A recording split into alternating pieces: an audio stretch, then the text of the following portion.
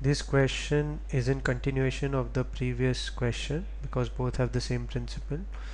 The correct answer is option C. Getting rented apartment is the object of the contract and it is not lawful because it is hit by the principle.